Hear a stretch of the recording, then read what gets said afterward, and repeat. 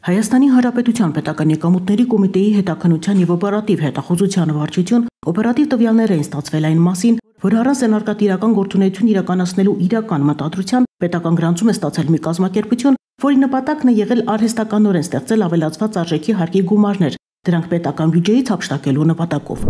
Հետաքնության եւ օպերատիվ հետախուզության վարչության, ինչպես նաեւ Արևելյան Մաքսատուն վարչության աշխատակիցների կողմից մշակվել եւ իրականացվել են համալիր օպերատիվ հետախուզական միջոցառումներ, ստացած տվյալների իսկությունը ստուգելու նպատակով։ Բարձվել է, որ 2023 թվականի հուլիսին պետական գրանցում ստացած Export Group 1 սահմանափակ պատասխանատվությամբ ընկերությունը իր հանցավոր մտադրությունը քողարկելու նպատակով արհեստականորեն ստեղծել է պայմաններ, ինչպես նաև հարկային մարմին տեղեկացրել է, իբրև թե Շիրակի մարզի Արթիկ քաղաքի գործանային հասցեում զբաղվում է հակակոռուզիոն պատրաստուկների արտադրությամբ։ Բարձվել է նաև, որ հանցավոր մտադրությունն ավարտին հասցնելու նպատակով այսպես կոչված հակակոռուզիոն պատրաստուկներն ընկերության կողմից երկու դեպքով արտահանվել են Ռուսաստանի Դաշնություն։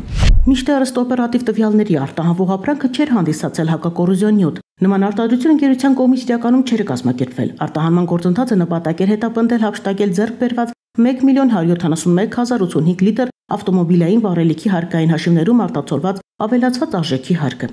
Ենթադրյալ հակակոռուզիոն պատրաստուկների արտահանման ընթացքում Արևելյան Մաքսատուն վարչության աշխատակիցների կողմից իրականացվել են նմուշարումներ։ Նշանակվել է փորձակնություն, որի եզրակացությամբ հաստատվել են նախկինում ստացված օպերատիվ տեղեկությունները առ այն, որ արտահանվող ապրանքը չի հանդիսանում հակակոռուզիոն պատրաստուկ, այլ այն իրենից ներկայացնում է շահագործված շարժիչային յուղ։ Հետազոտման արդյունքում բարձվել է, որ հիշալ հասցեում հակակոռուզիոն պատրաստուկների արտադրություն կազմակերպելու համար անհրաժեշտ սարքավորումներ եւս արկա չեն եղել։ Միջոցառումների ընթացքում ձեռբերված անհերքելի փաստական տվյալների եւ հանգամանքների արկայության պայմաններում Export Group 1 համանախապակ պատասխանատվությամբ ընկերության տնօրեն ԿԿ-ն Հետաքնության եւ օպերատիվ հետախուզության վարչությունում խոստովանել է, որ իրականում չի զբաղվել հակակոռուզիոն պատրաստուկների արտադրությամբ ու դրանց արտահանմամբ